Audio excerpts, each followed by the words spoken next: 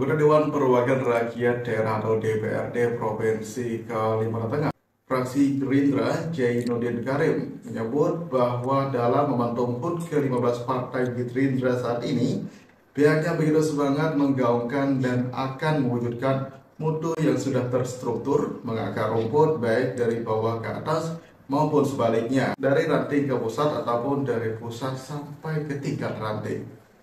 Hal tersebut disampaikannya saat menghadiri acara HUT Partai Gerindra yang ke-15 tahun yang diselenggarakan oleh DPD Partai Gerindra Provinsi Kalimantan Tengah yang berlangsung di Ballroom Hotel Bala Palangkaraya pada Rabu 1 Februari 2023. Ia juga mengungkapkan terima kasih kepada berbagai pihak dan kalangan yang telah berhadir dalam acara HUT Gerindra ke-15 yang begitu meriah. Dan dirinya juga menyebut kehadiran Sekretaris Jenderal atau Sekjen DPP Partai Gerindra Ahmad Mujani menjadi semangat tersendiri bagi pihaknya. Assalamualaikum warahmatullahi wabarakatuh. Salam Indonesia Raya. Gerindra menang, Prabowo Presiden.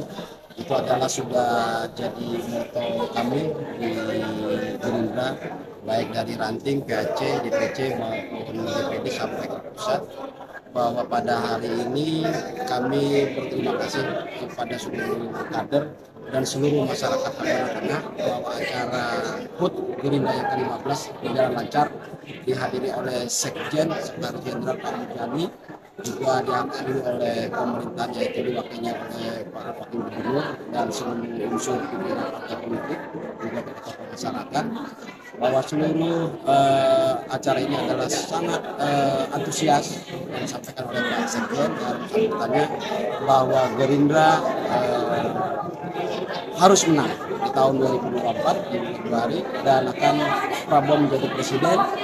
Juga kalau Pak Prabowo jadi presiden berarti di pesan beliau bahwa di Kalimantan Tengah pun gubernurnya dari orang Gerindra.